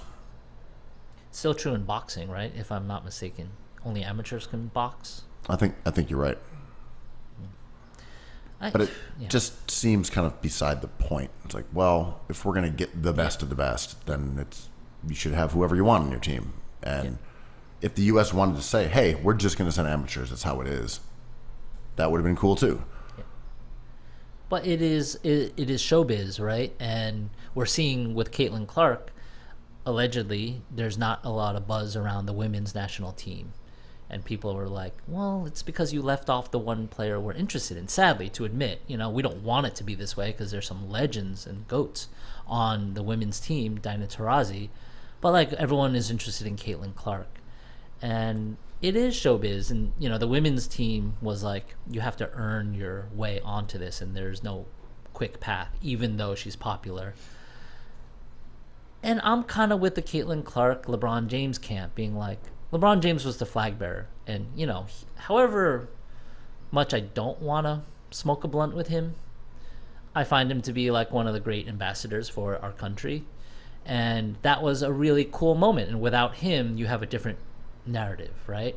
And it was so cool watching him holding that flag. Should have been KD, to be honest. But, like, um, I think the more celebrities, the better for everybody. The wa- people watching, people writing, people rooting, casuals, experts, everything. That's a, a rule that you've always lived by. Yo, I like More famous stuff. celebs, I like famous. the stuff. better. Bring Yo. on the celebs, says Andrew Kuo. Do you want to pass the blunt to? Trying to think of someone without offending offending them. Um, Jalen Brunson or LeBron James? Come on, LeBron James, get out of here. Brunson's just a Timberland Bring on, wearing. bring on the celebs. Yeah, yeah. Um, uh, but I, I think the point that you made about the women's team was that at the time when they made that decision, it felt morally sound. Nah, No, no. I, I mean, from them, like, no, no. They had It's about the best support. players. She's going to have her ch- opportunities. Opportunities. She hasn't earned it. And now you look at it and you're like, well, you bungled this golden opportunity because you could have put Angel Reese and her on the team, and everyone would be watching every single game. and It would have been like an absolute heater. Instead, no one's really tuning in to watch. Admittedly, players who are better or deserve it, the A'ja Wilsons and, and Breanna Stewart, but you didn't put the the hit makers on the record. Mm-hmm. and as you're as I'm watching the opening ceremonies, obviously in the America contingent, I'm looking for LeBron James, uh, Kevin Durant, and then right after those two, I'm like, ooh, Caitlin Clark. I would have been looking for her. It's like who's she standing with? Is she in the front with LeBron? Like that's where she would be, right? If that happened over with Caitlin Clark on the women's team, she would be standing next to LeBron James. She's that big of a star. I just think they missed an opportunity to even push the women's game forward with their presence, and whether or not that would have been controversial or made people people unhappy, that's stuff you live with. if you're a restaurant and you your sous chef comes up or your your dishwasher comes up with a hit dish that drives people to your restaurant, you're like, that's not how we do it here. You're like, all right, you're the head chef now. like this is the whole plot of the bear. You're so bear maxed. I I think about the bear quite a bit, and I have not You watched. don't even you don't even like it, and you're fully bear pilled. But I'm consumed by hatred. You don't understand, man. When I look in the mirror, I see the bear, a rat man. Um, I love thinking about the bear. It's true. I, I can't deny it. So, so one thing I've been thinking about while you've been thinking about the bear mm-hmm. are some of the rules that go along with shooting around when you're warming up for a game. And it was a post that I saw, and I, I retweeted it, and I said that there is. Well, let me let me let me let me let me backtrack a second here. So the conversation is about decorum while warming up for pickup ball, or, or it wouldn't be a game because a game you might be in in like organized basketball in lines and you have drills. This is really you're at a playground, you're at a pickup run, more casual. So you're shooting around. And in one camp, you have people who say if you miss a shot, like, you know, tough tough luck. It, whoever gets the rebound, now he hucks up a shot and he makes a couple and he gets it back until he misses. Now there's the other side of this, which is basketball culture, and it's that if you miss a shot, then the guy who gets the rebound, or woman, of course, passes the ball to the shooter who takes a layup. And then the ball at that point goes back to the rebounder and they repeat this process. I don't know if that's confusing or not, but where do you stand on this, Andrew? It's bullshit. The joy of basketball and the joy of sports is breaking down these codes. And I get why that happens because the person who rebounds the ball, their turn is to shoot and the time it takes for them to run out to a, the three point line, might as well just like do a layup drill, right? It, it it's like throwing the baseball around the diamond after a strikeout. Yes, I, I agree. I think it's cool. Obviously, I like it, but we shouldn't abide by it. And it's cultural, right? I think it's some people were like, "Do you do this on the on the social media post?" It's like, you guys do this where you're from?" Because maybe you don't. I've gone 50-50. I've played with people who don't do that and do do that. Who the fuck cares? But like, you can't play a. There has to be some sort of structure. You can't play a game of horse and not abide by the rules. So I don't know the uh, YMCA culture. I think is fascinating to me because the most interesting people, like in skateboarding, are the people who break the rules. So, growing up in Rochester, New York, we did not do that. We just shot whoever got the rebound, put it up. And that has seemingly not changed because someone who, who commented beneath my tweet was like, What the hell is this? so they were not familiar with it. I don't think they do In that New in York New York City, Yeah, do they? In Jersey, everybody does it. Okay, Everybody okay. does it here. It's like mandatory. Every playground, everywhere. As someone who has experienced both of these, I think that the the pass for the layup after a miss vastly superior, if only because more people touch the ball and it's there's more basketball stuff happening. It's like you miss a shot, people fight for the rebound. The guy, cut, the guy or woman cuts. You're always making a little fancy pass. You know, you're throwing a little behind the back, uh, kind of no look. There's like a little a little swagger to it. Then when the cutter makes a layup, it might be like a little jelly reverse. It might be into a euro step. It's just a little horsing around. And then, as you said, it's it's in the interim that another player then gets the rebound for that and kicks it out to the shooter. So it's like the shooter doesn't just have to kind of take a shot from wherever they get the rebound, and they don't have to dribble out to that spot. They go to their their place. I think it's incredibly, incredibly superior to get the rebound and chuck it up.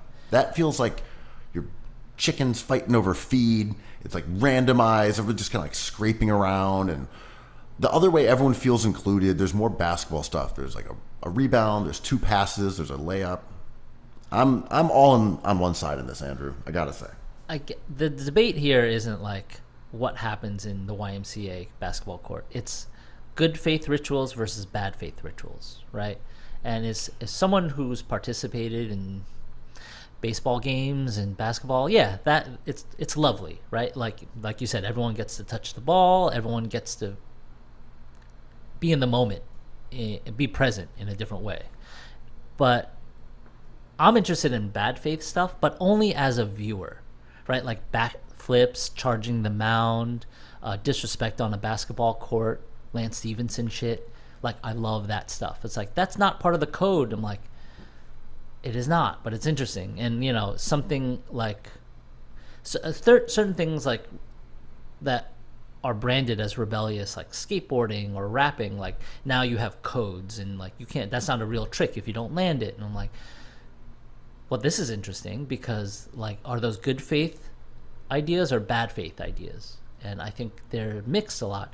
This basketball example is a good faith idea. I don't think anybody would be against it. Sort of like a, a ball getting thrown, or you know, outfielders playing catch before the an inning begins. Um, but I don't want to get too comfy in that zone because it kind of ends up where skateboarding ends up in 2024. I don't want to make skateboarding Twitter mad. They're so annoying and dangerous. I mean, uh, right and ethical.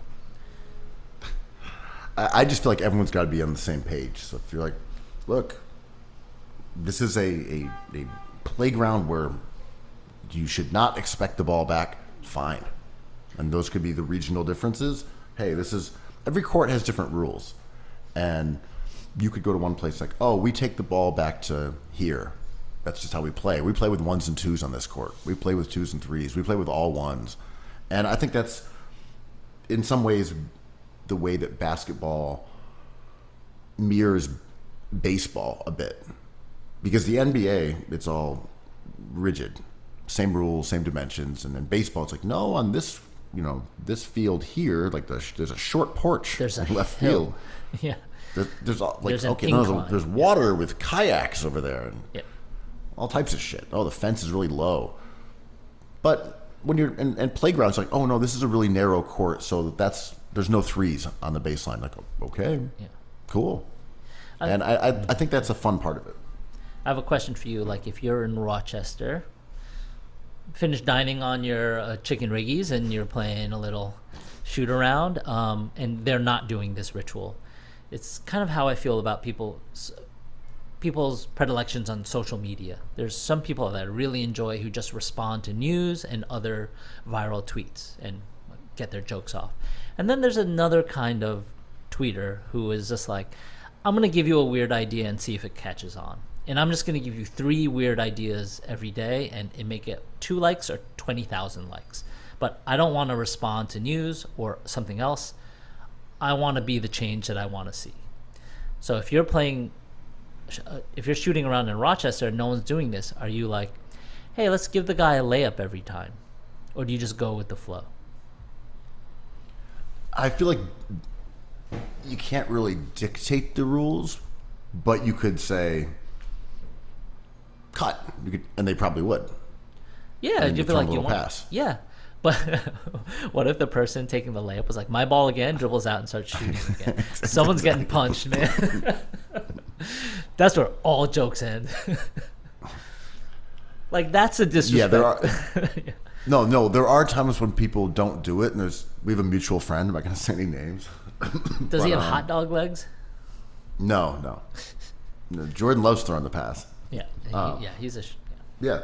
Yeah, yeah. One of our friends either forgets it or whatever, and you'll cut and just won't pass the ball. You're like, ah, thanks, dude. Uh, like, come on, yeah. and then he'll miss, and you'll get the ball, and he won't cut. You're just holding it, waiting, waiting to throw a pass to him, and he just doesn't. He just wanders off somewhere. And sometimes when you're saying happens, they'll cut, and you, you throw the pass to him, he'll pick it up and like shoot another jumper. I mean, watching some pickup games is just watching like a love language of disrespect. You know, when people check balls, or it's just like I missed that shot and shoot around, but it bounced back to me, and I'm going to start again. I'm like, oh, yeah, the rebound came right to you, but now someone's angrier than they were before. And some pickup games are just like this accumulation of this anger. I love accumulation of anger. You know who else accumulates a lot of anger? Russell Westbrook Fueled by it. or West Brick. No. Is he a Oh, he, hate, he hates that. is he a useful player in 2024? I don't know. And we don't talk about the Nuggets too much. You know, they won a title two years ago. We know how great uh, Jokic is. We know they've lost some guys. Are they still a contender? I don't get irrationally mad at many players, but Michael Porter Jr. made me so mad this postseason. And he's got a lot going on. Yo, all of his brothers like going to jail and stuff. It's it's really weird what's happening in that family. Obviously, he's mega pilled. I don't really care about that. I don't. I disagree with him there, but whatever. He's just a person. But he was so bad in the playoffs, and he eliminated basically his own team. And then we didn't get a good finals or conference finals. Like Jokic would have just plowed through, I think, if Mega Porter Jr. just did his job and hit down like 35% of his threes. Um, yeah, they're still a contender. Even though they lost KCP, I don't think they're they're out of the question as long as Jokic and Murray has some semblance of health. Yeah, I mean, Jokic is so good that that team is going to win a ton of games. Yeah. I just look at the departures they've had, and, and Bruce Brown did not do really anything this last year. I But mean, he was in the wrong between- place. He was perfect for Right, the Nuggets. yeah, it was between Indiana and Toronto. Just a, a totally different environment, especially from having someone like Jokic, who really was a great fit in terms of knowing how to deploy Bruce Brown as kind of this jack of all trades, undersized power forward who could sort of play point guard, but not really. Um, I'm, I'm a fan. I like I like Bruce Brown's game, but as you said, they lost KCP. Adding Westbrook, interesting. I wonder if Yeah. you can't r- really play him off ball. So there's some dynamics with him and say Aaron Gordon and Jokic, who obviously he can shoot, but you know he's not a, a high volume three point shooter by any means. And Russ can't shoot at all from deep, and Gordon can't really shoot. Yeah. Yeah. But yet I'm kind of intrigued. I'm like, maybe they can figure this out. is Westbrook on the other side of an aging superstar where he's inexplicably still quick at age 35?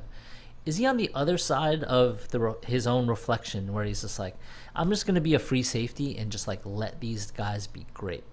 My role here is to be a locker room dude, a culture dude, an offensive rebounder, a deflections guy, and then if a windmill jam comes my way, take that like I'm waiting for that version of him. I'm thinking of like hobbled Antonio McDyess or like late Boris Diaw, just like doing the perfect thing for their team. That's probably the best way of looking at it. From from all accounts, Westbrook is a great teammate. People really love him. That he's positive and funny, and he's got people's back. And uh, again, people say he's the best teammate. He's great. He's a great dude. He's down to scrap. Like he is a uh, a marvelous teammate, despite the fact that he is an inefficient chucker at points. Mm-hmm. These are two different things. Mm-hmm. How he plays does not make him a bad teammate. Mm-hmm. And I don't think anyone ever believes that Russ is doing this out of selfishness. It's that he just has a lot of confidence. Yeah, he's not done yet in his mind. And yo, he came off the bench And, like and this is this is a former MVP who Yeah. averaged a triple double. He should have confidence. I agree. I agree. And you know, he took a step back last year already, so I, I mm-hmm. think the assumption is he's going to do the same. My question to you is the Nuggets are a certain car. They're kind of like a pickup truck. He's a race car driver. Are the different cadences like is he chewing his tortilla chip not in sync, sequence or in, in sync with dogs barking? Him being the dog, maybe. I don't know. I, I'm. I think Russ still is explosive. He can still pass the ball, but he is a very specific style of player. And yeah, I don't know how he works in the half court necessarily, but maybe they're like, what if we took Aaron Gordon and he was a guard? I don't know. I Jokic can probably that. figure this out. I wonder how much say Jokic has because he is the franchise. You know, he's the highest paid player ever. He spent his whole career there, and there's no indication he's ever going to leave. But we also know that he famously seems to opt out and not care about basketball too much. In the off season, he's out. He's in Serbia, you know, putting horseshoes on, Raising his Steeds. cats, reading novels. No, he seems like eating, a oh, eating stone fruit over the sink. he's a worldly dude, right? For sure. And I don't I don't think he has that 1990s Jordan originalist dog in him. But you know, he's a champion. he is I don't even know if he's he's worldly. He's just kind of a Serbian rube. Mostly, he's wearing funny hats in like techno clubs. by definition chilling in Denver for half your year and then dancing in minimal techno clubs in basements, drinking weird bottled beers. That's pretty worldly. Like, look, your Raya profile says you're bi-coastal, Nikola. So He's- the fact that you're drinking plum brandy over in the bowels of Eastern Europe, hey man, that's sophistication. But then he's in Denver eating raw steaks, Michelob Light, cowboy hat. No. Uh, More than one world is worldly. All you need is two worlds. Rocky Mountain oysters? Have you ever had those? No, are they good? I don't know. I've never had them, but I'm, I'm sure they're fine. I mean, it's a mental hurdle, but they're like cut, sliced, and deep fried, right? I mean, that would be a sensible way of doing it versus whole. I mean, I've seen those gross out shows, Fear Factor. So yeah, that those are pretty horrifying episodes. But I shouldn't be horrified because they're beautiful creatures who give their lives to feed us. They give their truck nuts for our nourishment. You ate those danglers. Fear is not a factor for you. I guess what I'm getting to is t- before you you started fantasizing about truck nuts. Oh, truck nuts? Did you say truck nuts? Does he care about these decisions? Do they ask him and he like signs off? Like, all right, Nikola, we're gonna bring in Russell Westbrook, and he says, "Hell yeah." Is he consulted? He must be, right? He's he's the franchise. It depends. This is like a LeBron debate with Jeanie Buss. Apparently, he he's the GM. He's not the GM. They did this thing. He didn't know about it. Um, if I were in the room in the Denver Nuggets front office, I would not care what Nikola Jokic has to say. To your point, it's like he'll be cool with us getting better. I think any team adding Russell Westbrook would love it, and fans would automatically hate it. But he's a good teammate, and any chaos agent is good for winning games. When um, the Sixers signed Reggie Jackson, I think it's a veteran minimum. The Oh, new Sleepy super Time. Bear team. Yes. But my understanding is that those, he's friends with Paul George. They were teammates in LA. They liked each other. Were they Six, like, teammates? in okay. O- no, not OKC. Reggie was a rookie on OKC, right? I want to say Reggie was gone by the time that Yeah, Paul George got there. Yeah. I think he was already in Detroit at that point. Hmm. But they're cool. They're buddies. That's why he's there. And I, I, I'm not sure I like that sort of dynamic. Are you gaslighting my team, bro? Is this a Villanova knock? I'm a little, I'm a little, uh, a little suspect of Too the, comfortable, the- you the say? friendship teams. oh, God. All right, we'll give you six first round picks to get his college roommate on the squad. That's crazy. Okay, just a quick aside. Watching Devin Booker like do selfies on the Team USA yacht with LeBron. Is are all those picks with McBride and Hart? Does that get you Devin Booker? they're not playing. The Suns are not playing for the the future. They're playing for the moment. But can you say no to that deal? We'll give you a bunch Right. of first round picks, Julius Randle and Miles McBride for Devin Booker. Or does it get you KD?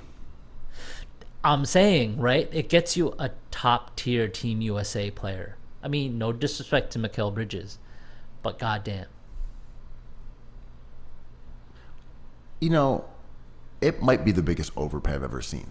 That doesn't mean that it won't work out for the Knicks. But when have we witnessed that many picks for a player that's never been an All Star? Dude, I gotta confess, I dropped thirty-five dollars on peaches on Saturday.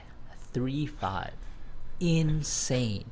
No sane person would do it, but I got what I wanted, so fuck you. I've been eating peaches nonstop. Are you getting different kinds of peaches? Yes, Are yes. you getting the From- so you get, you're getting the white peaches, obviously. I'm, Um, I'm so annoying. I get white peaches from two different stands because they come oh from different trees and taste different, and then I get the flat UFO peaches that I don't love, but my wife loves. The flat UFO ones, those are the ones that they kind of look like they've been stomped on. Yeah, they're cute. They're just not to me. They're just not as scrumptious. I don't know. Call me a hater. How are you on on nectarines? A little tart. The skin below the skin hmm. is a little tart, like a plum. Love them. The white nectarines are nice, but the fuzzy white peaches are the Rolls Royce. Mwah. Those are very good. Now, I, I have one final question for this topic because we've spoken about it so much. What's the difference between a crumble and a cobbler?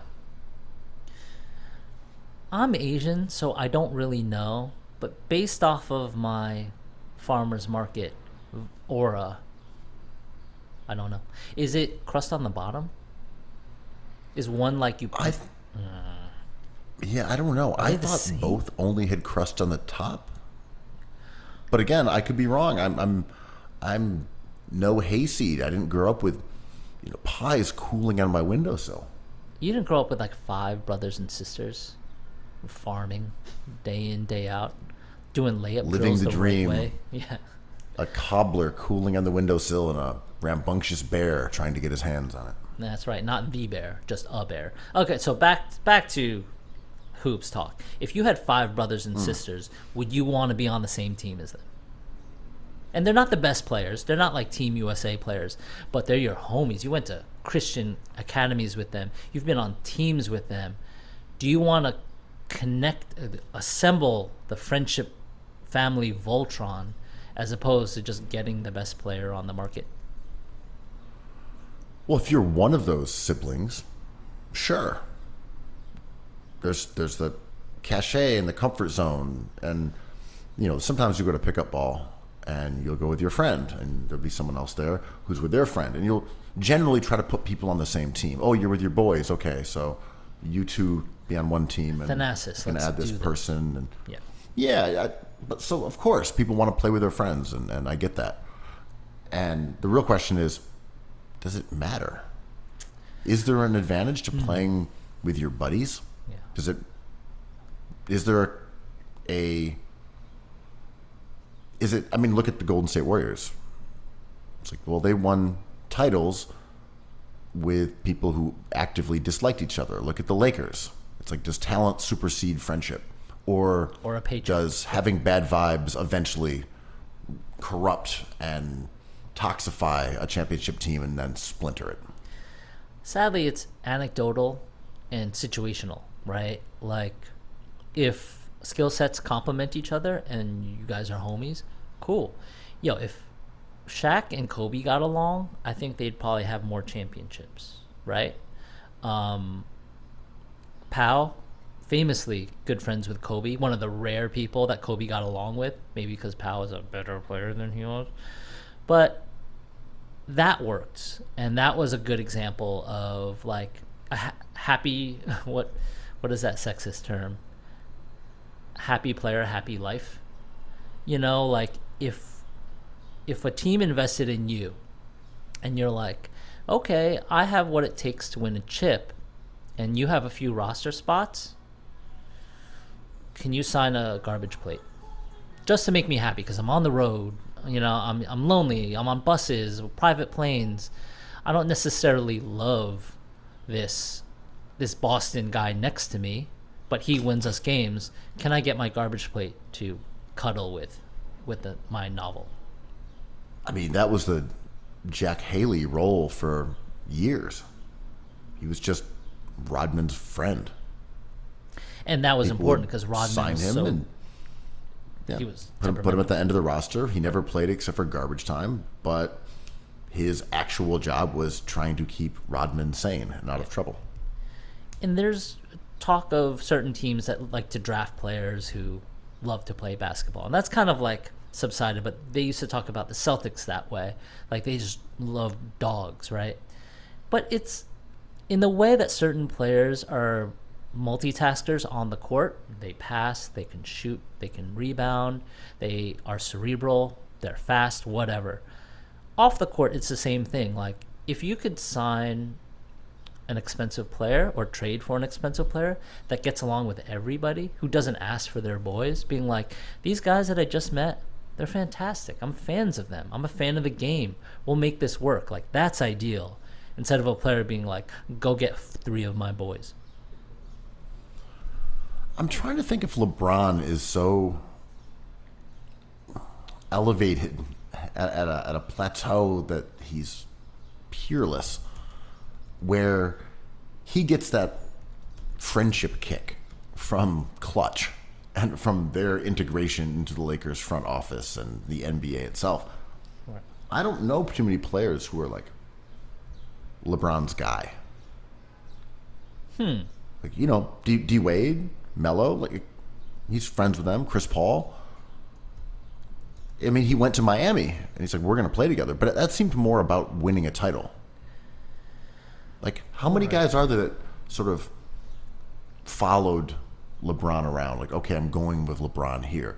I mean, Doc Rivers had his dudes. All right, here comes Big Baby. Here comes Paul Pierce. Does LeBron have NBA players who? I guess. Uh, I guess Mike Miller might have been one, and then James mm-hmm. Jones. well I was going to say james jones but they kind of ascended to like real positions i mean james jones ends up being a gm for a great franchise well a good team and I think the LeBron effect is real, but as for teammates, like this is kind of a hard general question to ask because it's clear AD loves him to death, right? Like just his re-signing there, Taco Tuesday, um, them chumming around on Team USA together, like they like each other. Uh, besides what Wade has said recently to muddy the banana boat chemistry, like they like it. Carmelo loves LeBron. Like players love LeBron, but players following him around, hard to really pinpoint. I, yeah, I agree. You heard the story recently that I, I was not aware of about LeBron saving Carmelo's life. Wait, what? This story has been told by both of them, and I, I guess it's from a few years back, but they were on a boat, and I don't know if Melo decided to go swimming or jumped into the water or was knocked into the water or fell, but he ended up in the water and he was struggling and I guess getting carried away from the boat. And Dude. LeBron dove in and saved him. Ah, well, that's crazy. That's crazy. Yeah, I- they've both told the story. I, I saw the clips of them describing this, and I think Le- Melo was talking about on his podcast after this story was sort of resurfaced. And again, I don't think it was that recently, but you know, obviously it wasn't. You know, it was a, it was a while back, I believe, but and then LeBron was asked about it, and And he can't give him a roster spot on the. Lakers. What the fuck, man? He can save him from the the tides of nature, but not just put him on the bench in Los Angeles. Get out of here, LeBron. There is no rescuing him from the march of time. Apparently not. It's crazy how LeBron is still balling out. It is crazy. yeah, he has this like patriarchal role. It's like the oldest guy in the league, the oldest guy in this team. Like, uh oh, we're down to Sudan. Save us, LeBron. He's like, all right. Yeah. We drive in for a layup. Diana Taurasi gave a quote said something recently that I thought was interesting. She was just like talking about Caitlin Clark. She's like, "Yo, I'm in my like zillionth Olympics.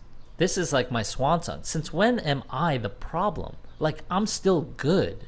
like we're gonna do this. Why am I talking about Caitlin Clark? Like, should we not be talking about me? Is longevity a bad thing now?" And I think about the LeBron versus MJ debate, if there is one, but there is on on social media.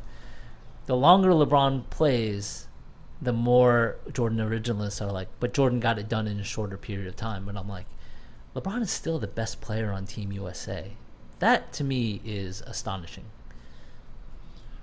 At this point, I, I find the Jordan still better things like a little. It's forced. It's okay if you believe it, Yeah. but you can't really argue it. It's it's an odd point of, of departure to say like to me, MJ's still the goat. Right. That's great. Fair enough. Some someone might say to me it's I don't know, it's Jeremy Kareem. Lin. Jeremy Lin. Cool. Cool. That's that's your favorite player ever. You that like look, I will say Allen Iverson, goat. That's Yeah. the goat. AI. Yeah. Someone on Twitter was like, Magic Johnson's the goat. I'm like, fair enough. Enjoy. Cool. Your player. Great player. Yeah, yeah. There's like no no issue with it. Keith, Keith Van Horn, psh, facts, facts only, Mm-hmm. big facts. The Rizzler himself, Notorious KVH. edge to KVH, goon, Yeah. do it. But like the MJ thing now feels just like a personal choice. Yeah. Totally. Like there's not like a debate here. Like you see what LeBron's doing at the same age when MJ was on the Wizards. One last point that I wanted to make about the whole benching of Tatum, or or benching's the wrong term. He just didn't get in the game. They didn't say you suck, Sid. Mm-hmm. No, he's gonna said, start we have, next game. We have better options. Yeah. What I did enjoy was that for years now, we've he's been on the first team, and Right. LeBron and KD have been on the second team or third team.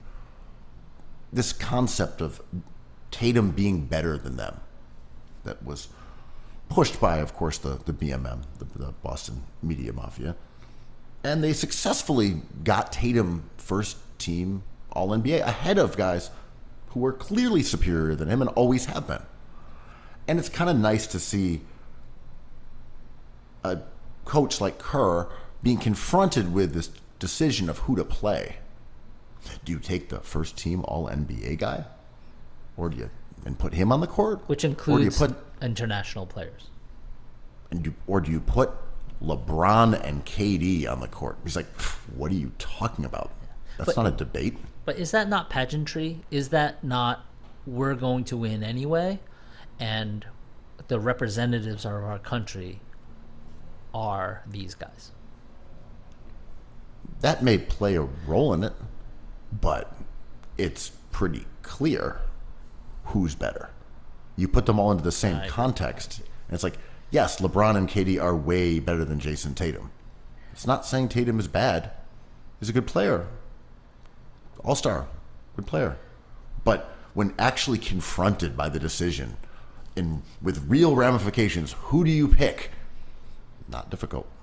I mean, if this was some soccer rules, I believe how this works. But like, can we rent Steph for one year, or KD, or LeBron to play in Boston in exchange for Tatum? That's an automatic chip. That's a it's a Swiss Army knife of a good player. Those three, still at their advanced age, are devastatingly good. Tatum's nice. He is Allen Good Houston, player. but better. Allan Houston was also on Team USA. So like, the idea of Tatum fans being martyrs is complicated because he's been hoisted up to this level. It's like not all all players do not matter. Like you can't reverse discriminate against Tatum's game. Right. I saw people say, well, he can defend one through five. Mm, no, he, cannot. can't. No, he cannot. What are, what are we- what are we doing here? Luka went right by him. Jayson Tatum is a decent defender. He's okay. He's, big. athletic. He's Yeah, big. I- I'm not even hating on him as a defender, but the concept of him as this hyper versatile defender, no, he's not. He is maybe the fourth best defender in his own starting lineup. fifth best defender out of the top six on that team. They had to put together defenders around him.